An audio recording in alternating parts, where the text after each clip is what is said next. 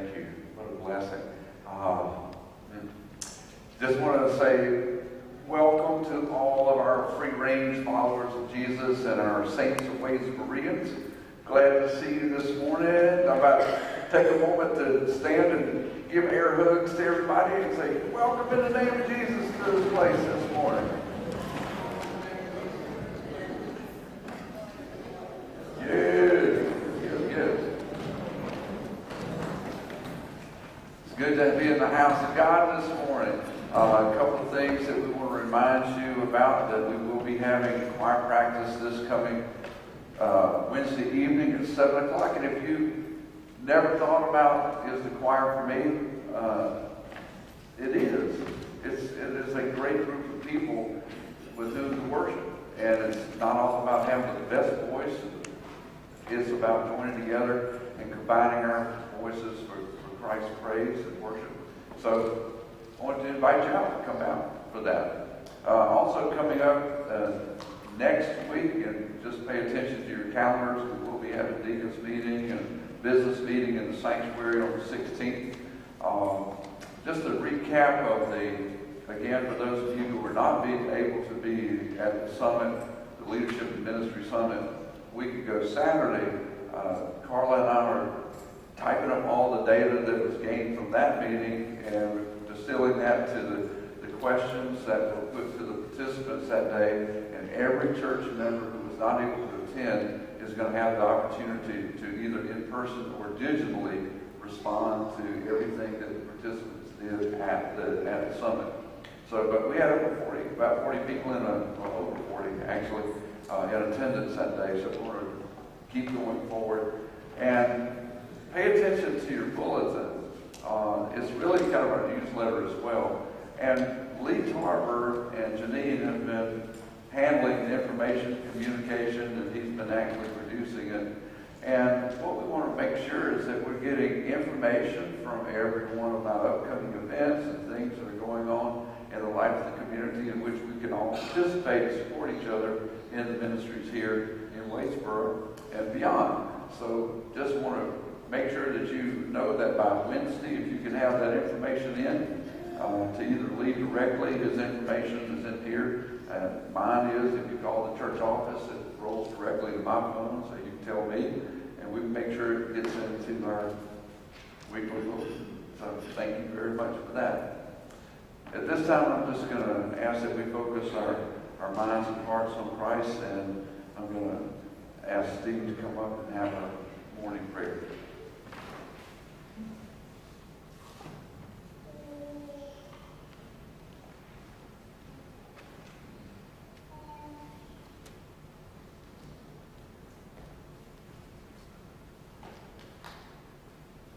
Good morning. It's such a wonderful day, wonderful people to see here every day. We are so fortunate that we're all healthy, can get to different places and so forth. I'm going to go to a word of prayer. Lord, thank you for watching over each and every one of us. We've got so many things on our plate, but we also take time to think about you and thank you for what you've done for us. We ask that you would look after other people, not members of this church, but people that need some help, and we'll try to help them out. Amen.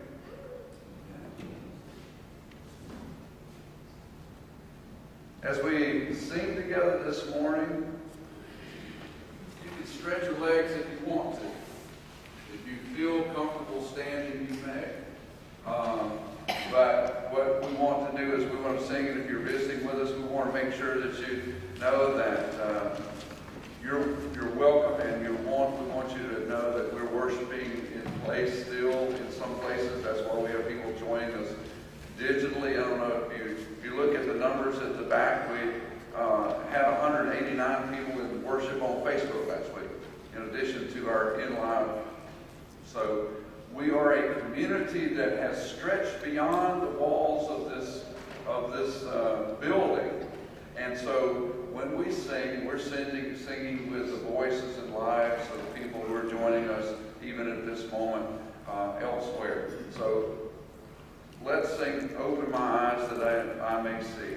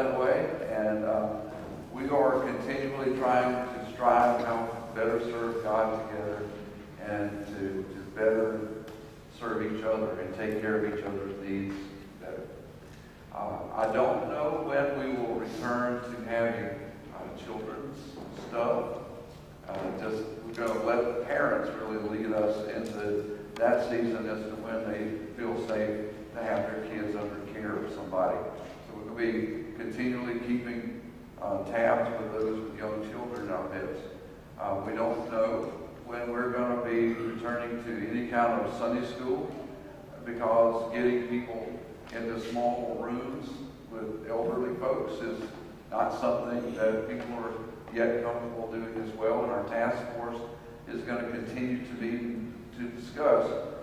And you're going to continue to get surveyed about what it is that you feel like God is wanting you to do. And if that, and if that is staying at home, I talked to one of our uh, deacons yesterday, and he said, look, I've got diabetes, and I've had two kinds of cancer, and I want to be there, but I just don't feel like I can. And it's not a, um, it's not a lack of faith. I want, I want to be very clear about that. It is not a lack of faith for somebody to say, I'm not ready to be back around folks in that kind of um, environment yet. It is not saying I don't believe in Jesus enough. It is really trying to discern what God would have you do for your own life and your own walk. And we're going to affirm you, and we're going to walk with you, and we're going to serve you, and we're going to support you, whether you're at home or here. We're going to continue to do the very best we can to honor Christ and honor your health. Now, some people ask me, Harry, do you wear a mask? Are you afraid? I said, no, I'm not afraid. I'm not afraid of what's in the, in the air. I'm not afraid of COVID. I'm not afraid of dying because Christ is my Savior. But I love you. I love you. And when I wear my mask around you, it's not because I'm afraid of anything that you have, but I don't want to ever inadvertently, because I care for you and I love you, I don't want to ever inadvertently, because the people that I come in contact with, share something. So it's not a lack of faith on my part either. It's an act of kindness that I'm showing for you. So, are we going to live in fear forever? No. Are we going to always wear masks? I don't know. I'm only saying that if you feel comfortable doing that, we love you, care for you, and, and we are not in any way going to ever say, don't do this or don't that, do that when it comes to your own personal walk in your own in your own health. Can I hear amen? Amen. All right. So again, if you're visiting with us, I want you to I want to encourage you to fill out a connect card so that we can say a special hello to you. And we have uh, uh, a time right now where we are. I'm going to pray again because I want to. I want us to be prepared for next Sunday in particular. Can anybody tell me what may be happening next Sunday that might be special in the life of our church? Yes, some of you may not know. And I ask his permission. I actually call the young man and ask his permission because I usually pick on him anyway, regardless of his permission. Uh, but last week, after the service, he asked if he could be baptized. And so next week, Gage Bookchip uh, is going to participate in the Holy Sacrament of baptism and, and also become part of our congregation. So I want you to be here for that, to support this young man and that decision in his life, uh, as we have done so for others that I see sitting here, that we want to make sure that we support folks who are becoming part of the body of Christ, not just a member of First Baptist. This is a, a life uh, trajectory that's eternal, and, and we've, we've been talking about that. At this time, I just simply want us to, to pray together before we get into God's Word. Let's pray together. Lord Jesus, thank you for the way your Holy Spirit continues to work in us, continues to fashion us, continues to do surprising things in our midst. When we think life is over, you breathe new life into us. When we think cancer has the final answer, you, you heal. We, we come in surprising ways uh, into your presence because we come expecting maybe a little and you pour on a lot because you love us. Lord, let us continue to, to, to focus on the fact that it's, it's your, your work, your healing, your strength, your power. And it's not anything in and of ourselves that deserves any of that. It's because you love us. So, Lord, prepare us this morning for the word that you've prepared for us. Lord, I'd ask that you would, that you would hide me behind the cross that the words from my mouth may be honoring to you, they, that the meditations of this old broken heart that's full of deceit and, and hurt sometimes, that this that out of this heart would be words that are yours. And that you clear the airways, Father, between the speaker and the hearer. That what we hear would be what you would have to say to us directly. That we may respond to it, even as Gage has responded and others have responded because it's your word, not ours. In Jesus' name. Amen. So last week, and I'll do this before Gage uh, dozes off because um, we were up early yesterday morning shooting doves, different fields, same outcome, but one bird, that was it.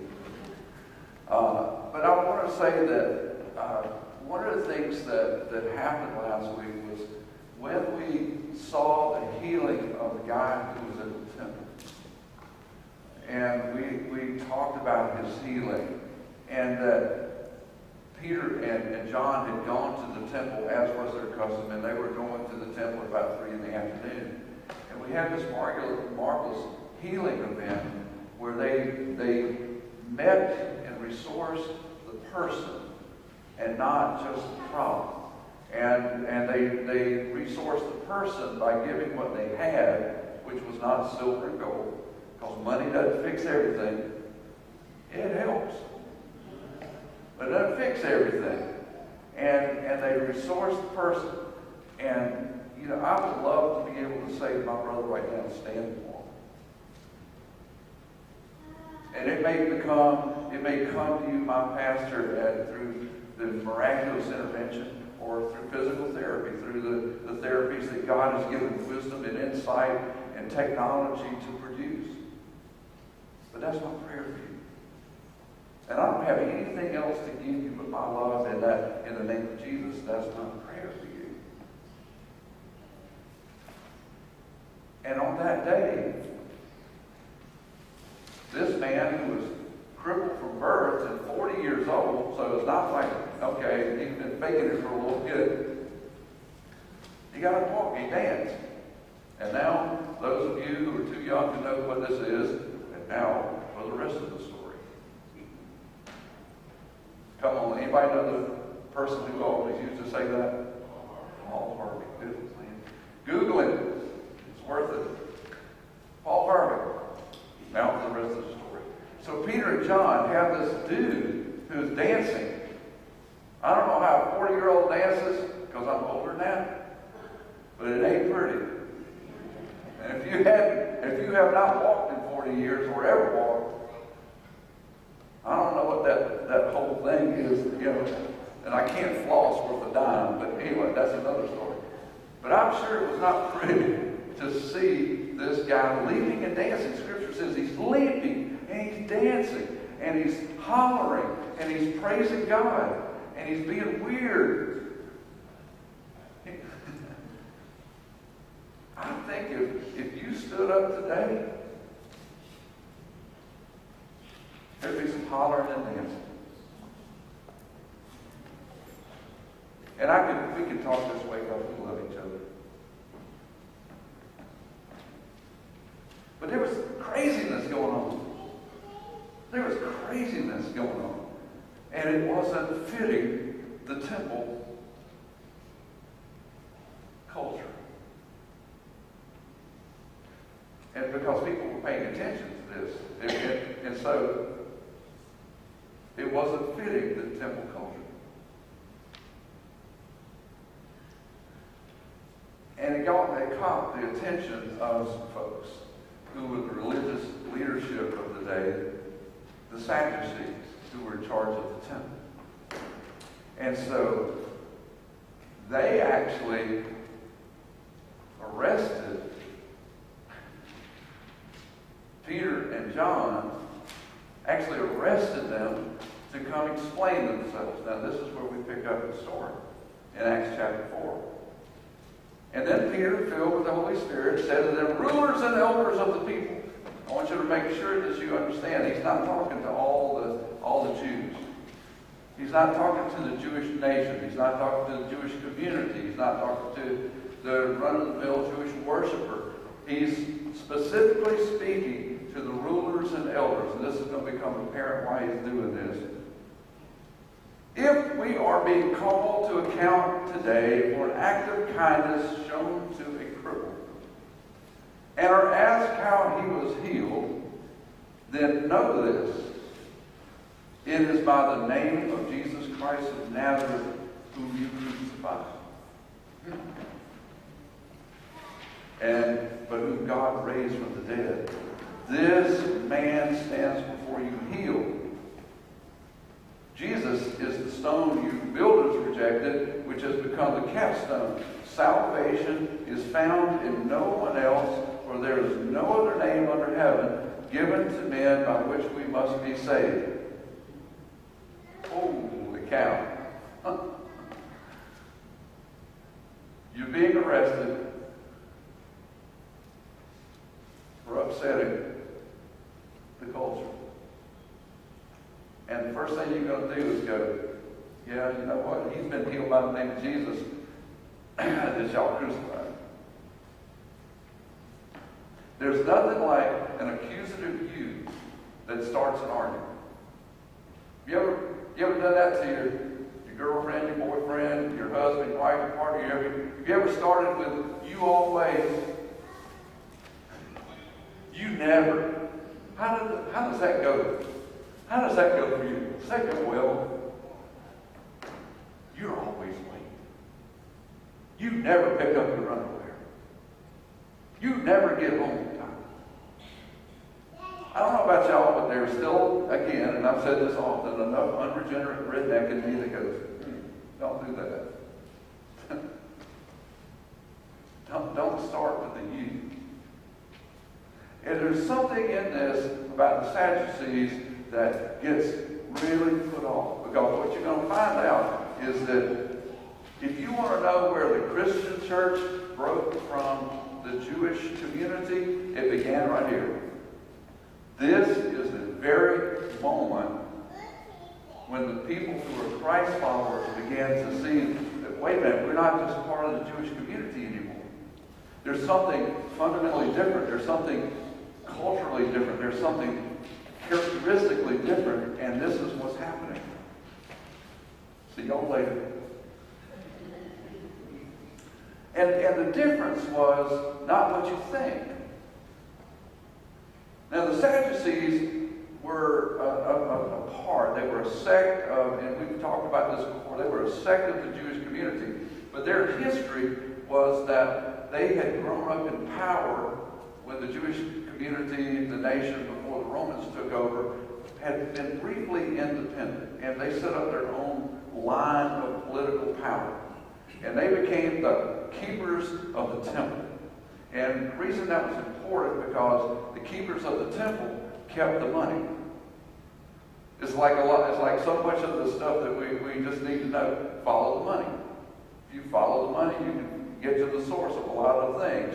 And if you follow the money, the money from all the worshipers that would come from all over the world, at least twice a year, Passover and first fruits and Yom And the Day of Atonement, you'd have all this influx of, of people coming into Jerusalem because they were mandated uh, to worship. They were mandated to come to the temple and offer sacrifices because the temple was the only place where you as a faithful Jew could get atonement and meet God and feel released from your sins. It was the only time and place you couldn't just get that anywhere else.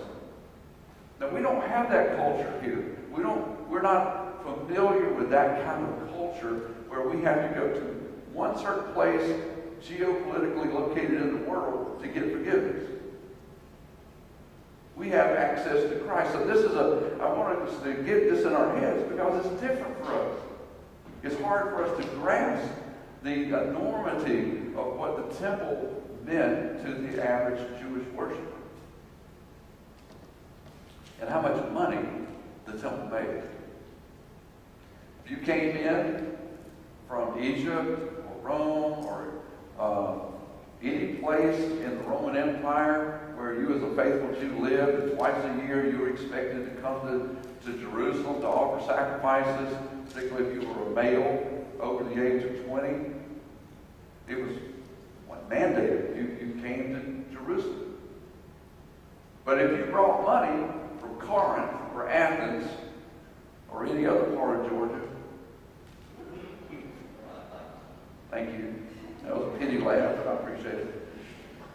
If you came from any other part of the empire and you brought your money, I see Vicky shake her head like, he did not do that. If you brought your money, you had to trade your money from Athens, Greece, Corinth, Laodicea, Rome. You had to trade your money for temple money.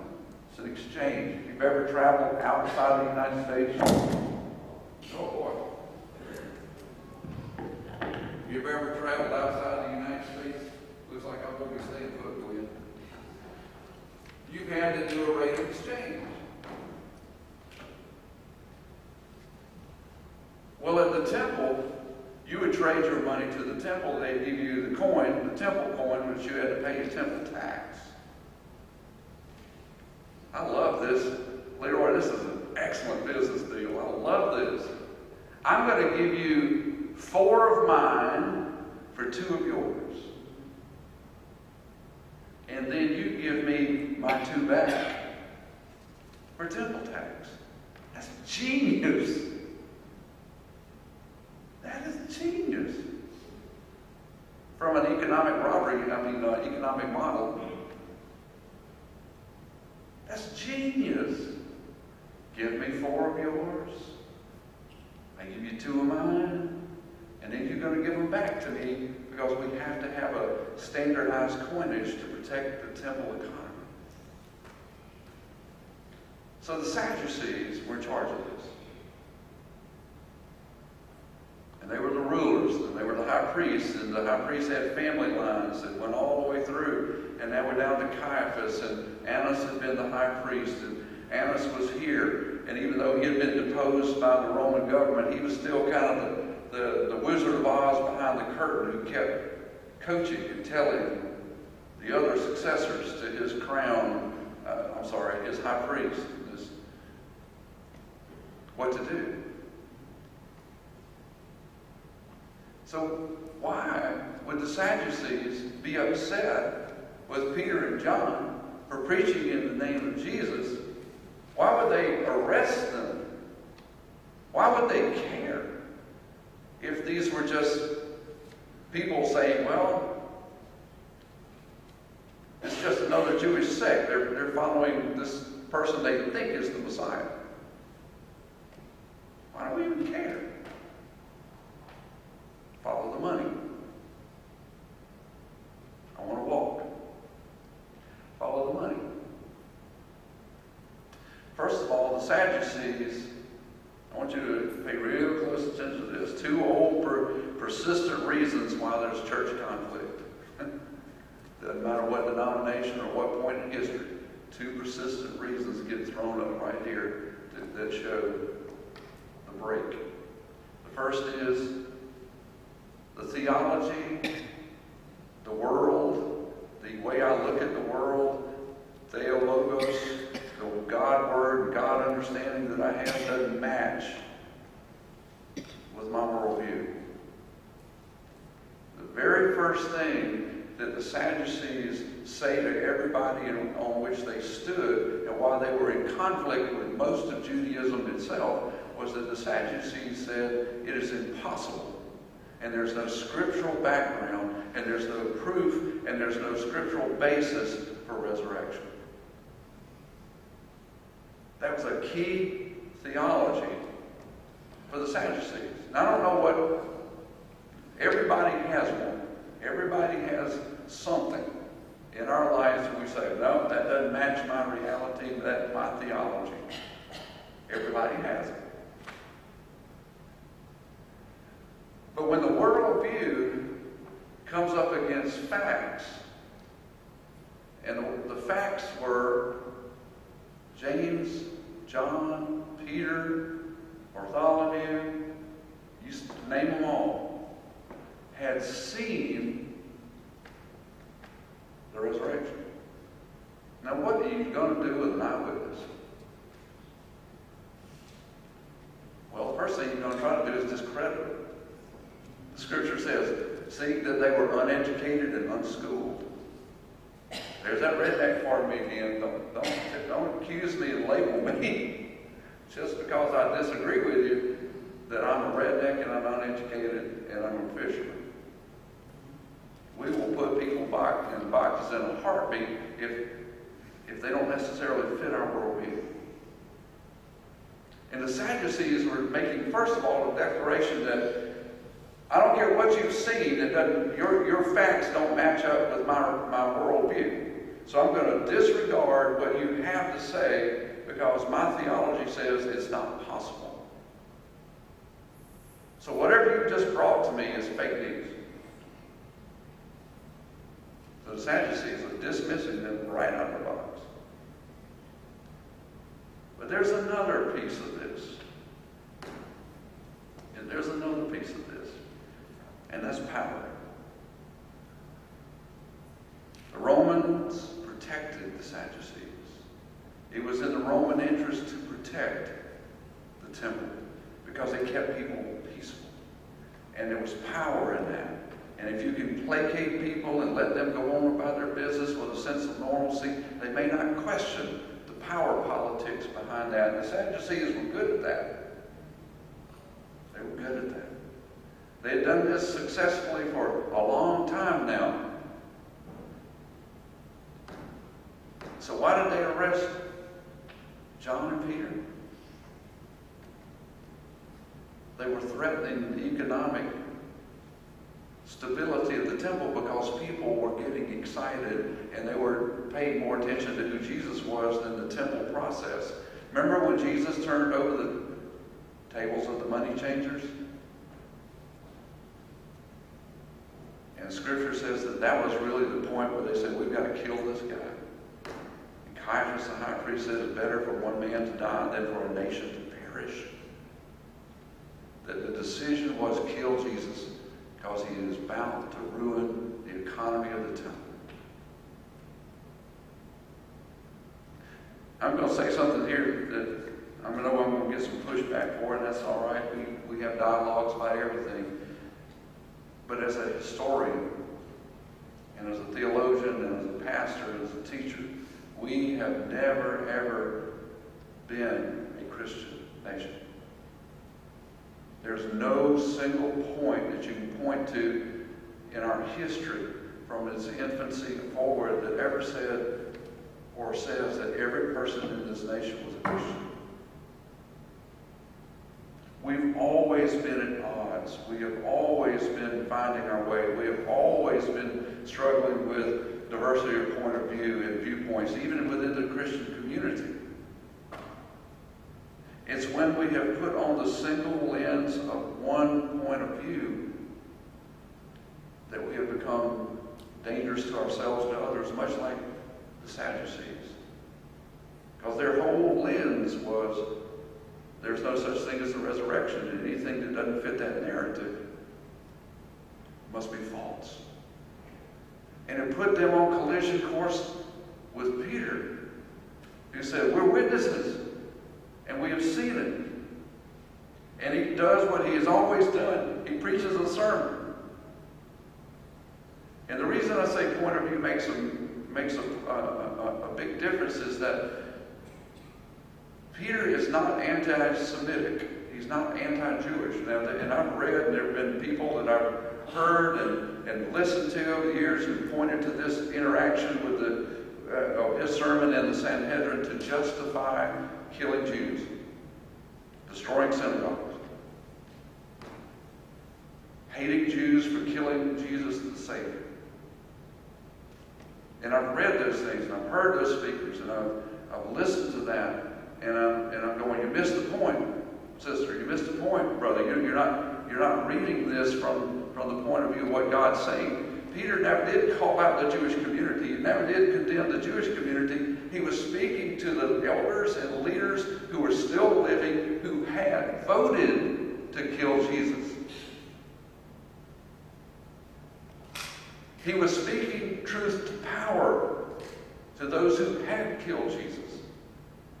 He was not condemning because Jesus was a Jew, Peter is a Jew, the Sanhedrin was Jewish. It's not anti Semitic. He was speaking truth to power. He said, You voted to kill him.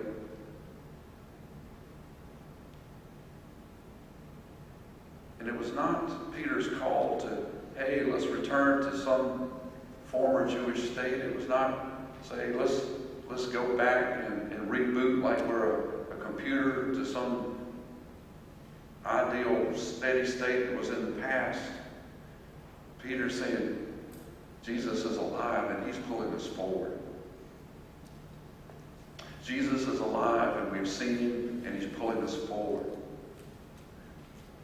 And we're going to follow him and we're going to be with him. And, and, and, and, and so don't think that your, your witness doesn't mean something. It does. Because Peter's witness was something that began to challenge them, but it got him in trouble. Just in the next chapter, we see they get arrested again. And the second time they get arrested, they get flogged for speaking the name of Jesus. Now, here's, here's the bottom line for this morning.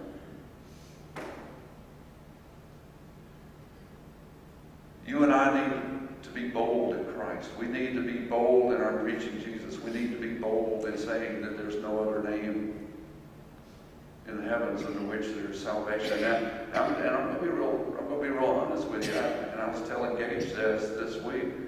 When I was about his age, Jesus was just an idea, right? We had this conversation. Jesus was just an idea. Jesus was someone I had heard about in Sunday school, I'd been exposed to, but Jesus was just an idea.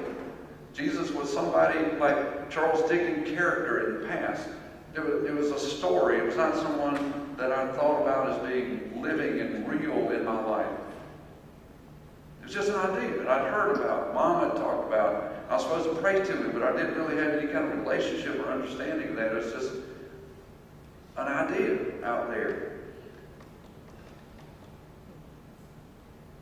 It, it took a long time for me to come to that conclusion and that, that self-awareness that only the Holy Spirit could produce. It took me a long journey to get to that place where I was able to, to accept and say boldly, there is no other name under which salvation.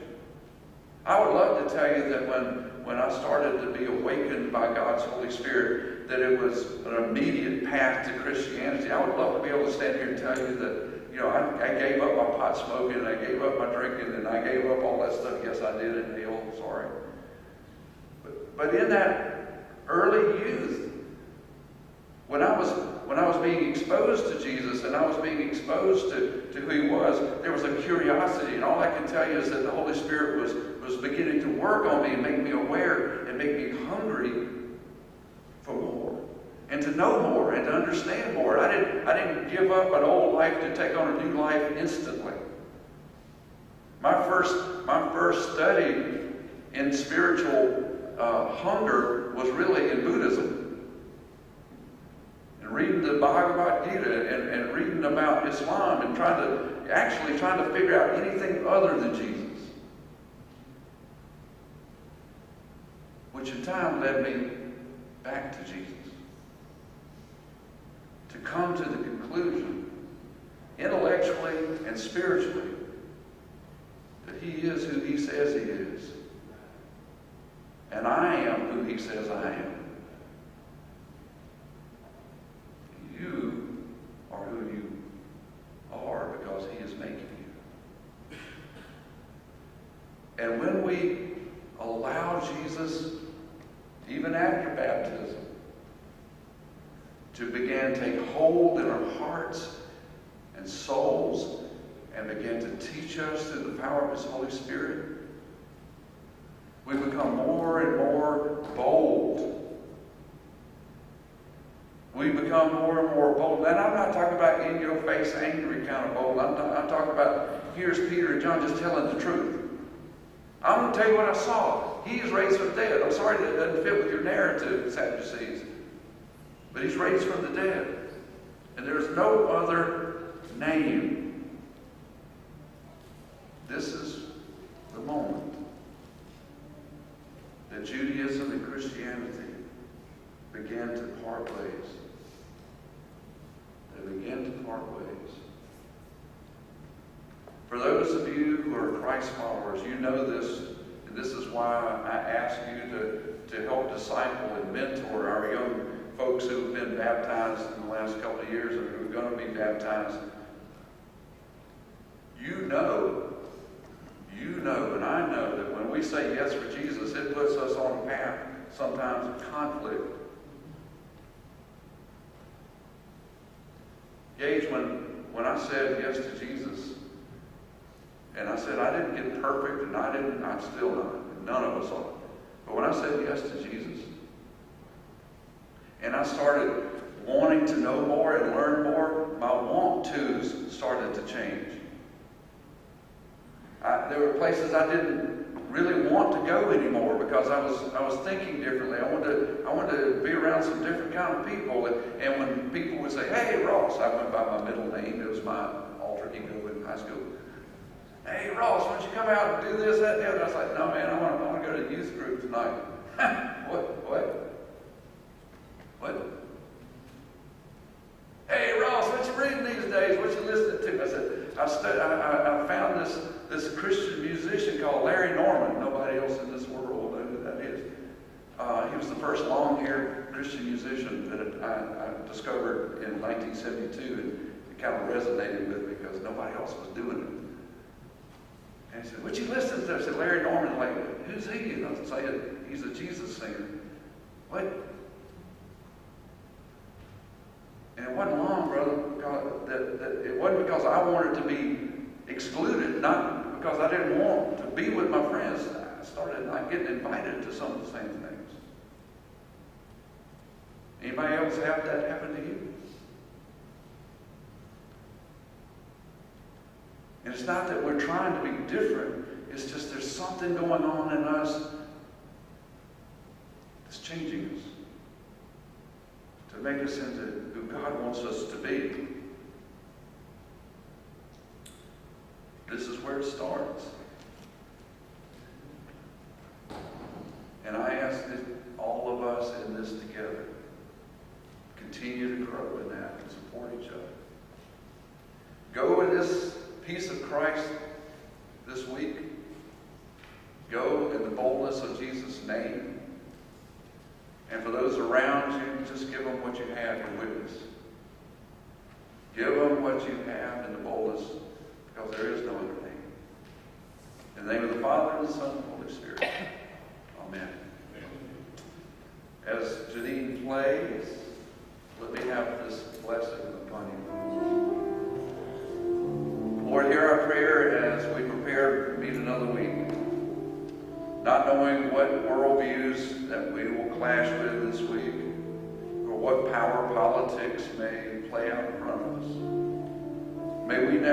Our witness of you.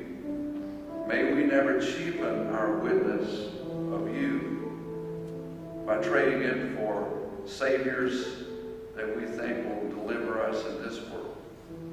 May we continue to, to lean into the reality that we are citizens of a heavenly kingdom when we accept you in our lives.